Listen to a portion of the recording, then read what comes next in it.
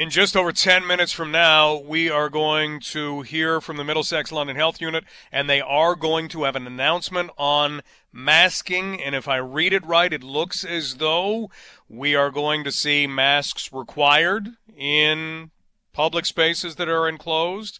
But let's let's wait and get the official announcement, like we said before.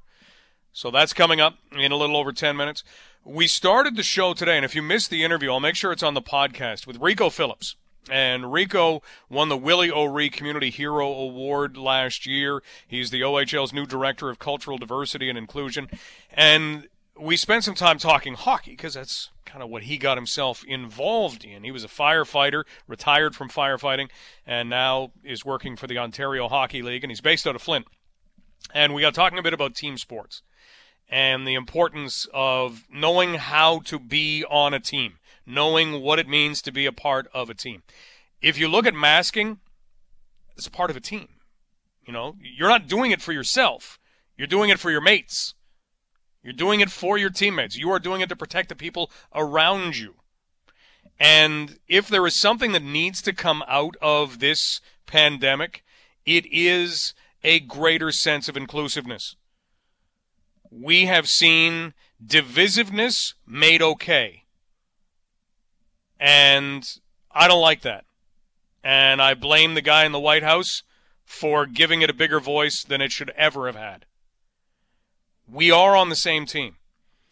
And someone who puts that into words so beautifully is our next guest. Mohamed Hammoud is part of Recovery 2020, awake, aware, and ready, and is here to outline what that is and when it's taking place. Mohamed, it's been too long. How are you? Good, my friend. Thank you very much for always allowing me to engage in a lively conversation with you, Mike. Well, we can listen to you and your conversations all day because you've got a great optimism, you've got a great spirit about you, and you've got to tell us what you're working on now. What is Recovery 2020? So, Recovery 2020 is an opportunity for Londoners to come together on a virtual summit and to raise awareness around ways our community can heal and recover not only from COVID 19, the pandemic that has gripped us and gripped everyone the, around the world, but to really fight together against racism. How we can nurture a more inclusive and caring reality, not to go back to the old normal, but to really create a reality that each one of us is intentional about working towards. So how is this going to happen in terms of this event? I mean, it's going to be, as we know, it's it's not waving a magic wand. It's one little thing after one little thing that will create long-lasting change, and that'll take a while. But in terms of this event, what is taking place? So what is taking place? We have five Londoners who are community builders, who are engaged, who are subject matter experts in their in their different fields. Uh, some are from the medical field, some are uh, part of you know a city councilor uh, uh, politicians. So we have people with different stakes in the community, but what brings them together is they all believe in working towards our community.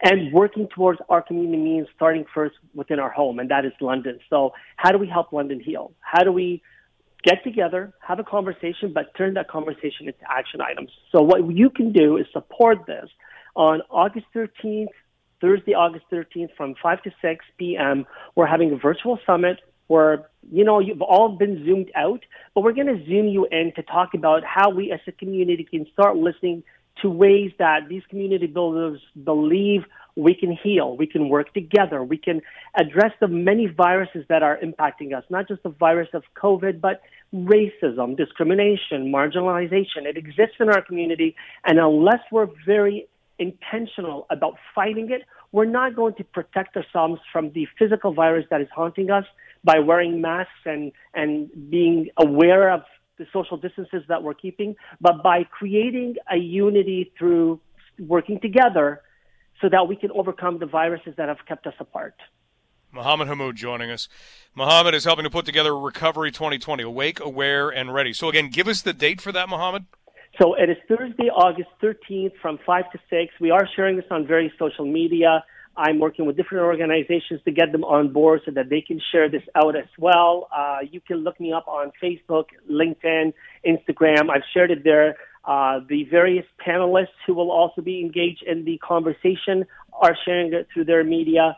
And uh, we ask you to support us. What we're trying to do is, yes, we want to raise awareness. Yes, we want people to have a clear call to action so that we can have clarity around what's next. How do we, how do we not just get back to work and in our workspaces, but how do we continue healing and working together? Because, like you just you were just saying, it's for the people around you that you have to be be more cautious and be more aware. We want people to be more aware that our strengths are what makes us our differences are what makes us stronger. So coming together to talk about that and our caring for other people means that, look, I don't like to wear a mask, but I do it because I care about the people around me, or I'm going to start doing it because now it's mandated. So I learn from the people who, who say that we have to do these things. And the one thing that we're doing, Mike, that I, I really want to call out is we're trying to raise funds. So people who are going to join the call, they don't have to donate, but we strongly ask you to donate whatever you can, $10, $100 towards Atlohsa Family Healing Services because at the end of the day, the people that are most impacted by the diseases in our community, the ignorance and the arrogance and, and, and the physical diseases, are the people who are most vulnerable. And these people won't be able to get on the call with you and I because they probably don't know how to and they can't and they don't have the means. We, you and I are privileged. There's different layers to privilege, and you and I are privileged socioeconomically speaking, right? And we want to help these people. And a step to do that is to collect funds through this event and to give them back to uh, an organization that is doing wonders to help people in our community. All right. You can find it on Eventbrite as well. You can find information Certainly. there. So if you go to Eventbrite, Recovery 2020, Awake, Aware, and Ready. Mohamed, thank you for the conversations that you introduced years ago that dealt with this very same topic. And thanks for keeping the conversation going. Be well. Be safe. God bless you and thank you. Take care. Take care. That's. Mohamed Hammoud. Recovery 2020, Awake, Aware, and Ready We'll be raising funds for Atlohsa, but it will also be continuing that conversation or introducing that conversation.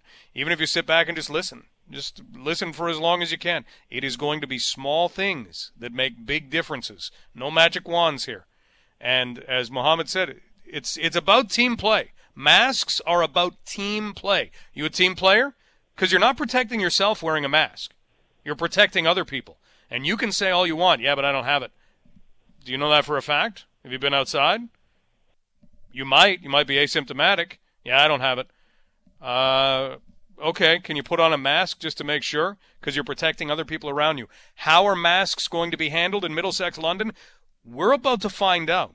And I've got an inkling that there is a change coming because there's a big announcement coming. And it is just over three minutes away on London Live. Stay with us. This is Global News Radio, 980 CFPL.